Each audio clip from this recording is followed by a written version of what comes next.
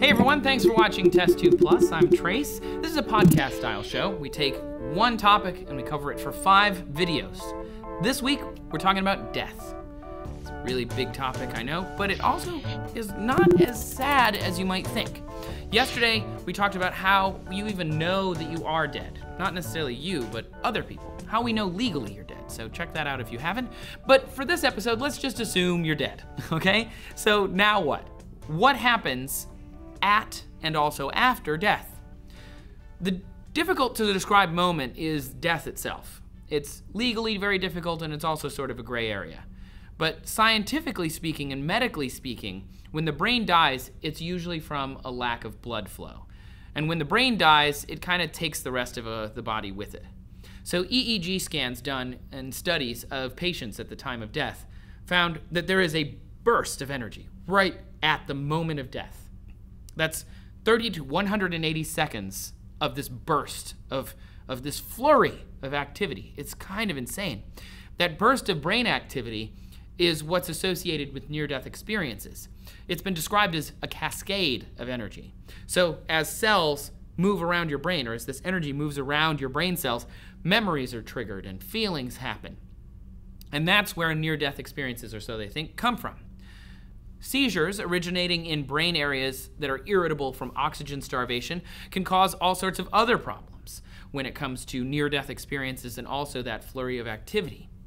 Brain cells, in general, while you're alive, are constantly electrically charged.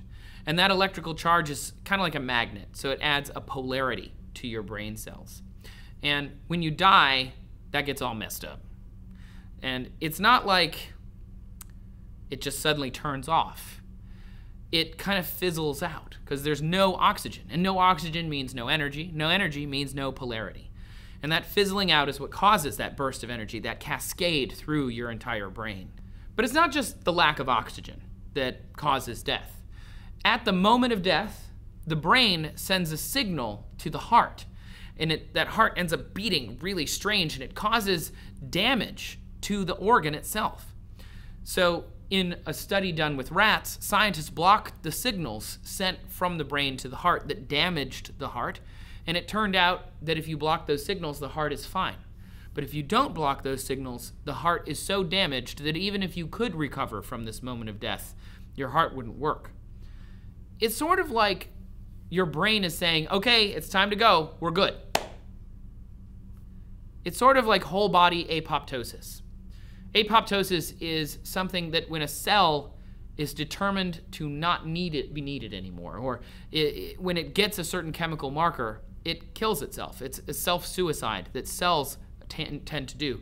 And occasionally, apparently, this happens as well in larger or wider systems, like the heart-brain connection. So as death becomes close, the heart and brain sync up in terms of their activity researchers observed a flood of more than a dozen different neurochemicals, including dopamine, which produces feelings of pleasure, norepinephrine, which produces feelings of alertness, which is why near death experiences, they think, feel realer than real. Because you're flooded with all of these neurochemicals, all of this cascading energy, as well as an alertness mixed with a pleasure. And that is how people often describe their near death experiences. Very warm, very comforting.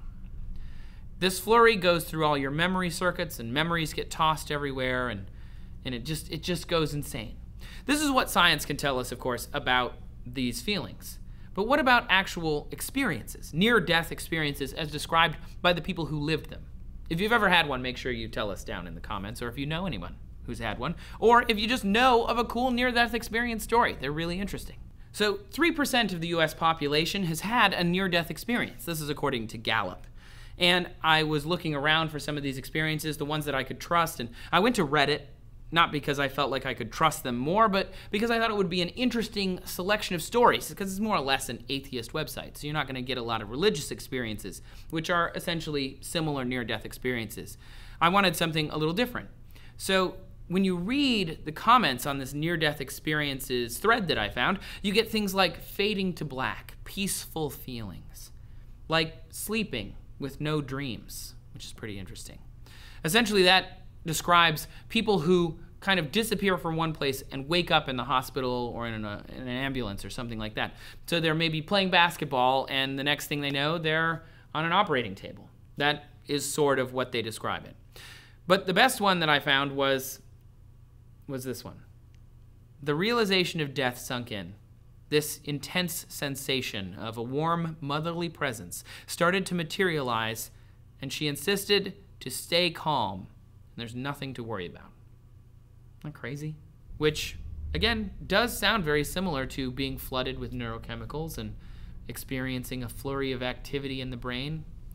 It's, it's kind of crazy, right? That science is sort of able to describe these feelings. A 2005 study found that out of body experiences can actually be artificially triggered in people. And what happens is if you stimulate, electrical, electrically stimulate the right temporoparietal junction, temporoparietal, parietal, sorry, I can never say these brain terms, temporoparietal junction, it changes how not so much triggering a near death experience, but changes how we experience our physical body. And when you change that, it makes it feel as if your body is apart from you. And that is part of a lot of people's near death experiences. Parkinson's disease patients sometimes report visions of ghosts, which is also related to near death experience, or monsters, again, related. Because what's happening is the disease is affecting their dopamine reception and their dopamine uh, excretion, which can cause hallucinations. You can also get stories of people moving through a tunnel toward a bright light. And that happens, and they don't know why. But a lot of people experience it. They think it might have to do with blood flow being restricted to the eye, because when that happens, even in healthy people, tunnel vision results. However, none of these things explain all of the things that you would find in a near death experience. DiscoveryNews.com reported in 2012 about a specific neurospecialist who had bacterial meningitis and it hit him very quickly. And in 2008, it attacked his neocortex and it inactivated it. It deactivated part of his brain that deals with sensory perception and conscious thought. The man described big, puffy pink white clouds against a deep blue black sky and flocks of transparent, shimmering beings that were quite simply different from anything he had ever known on this planet. This is what he could see. He could see this stuff. He said a woman spoke to him and told him he was cherished and important, and then he awoke in a hospital. He'd been gone for seven days and he'd been in a coma. The thing is, science can't really explain these experiences. This man knows the brain. That's his job. He studies the brain. And he was still floored by the realness of this experience that it changed his life forever. And just because we can't explain it with science doesn't mean that it's not profound, it doesn't mean that it's not important. And even if we could explain every single thing, that also doesn't mean that it's not profound, that it's not important. Anecdotal evidence aside, a lot of the world believes in an afterlife. And we all want to know that there's more than just the suffering and the pain that exists in this world, but at the same time, there's no one who knows except for the people that have already been there. So, while science may not be able to explain all of it, it's pretty amazing what it can explain. If you ever had a near death experience, or if you have an interesting after death opinion, go down into the comments. Tell us about it. And for more Test Tube Plus, make sure you subscribe and check out what happens to your body once you're evicted from it, because that's tomorrow. It's gonna be really, really gross, and it's amazing. and if you're looking for more Test Tube Plus, check out yesterday's video about whether we know you're dead legally. And if you've already seen that one, we've got lots of other episodes on our websites, so make sure you check those out. Thanks for watching. We'll see you tomorrow. Thank you.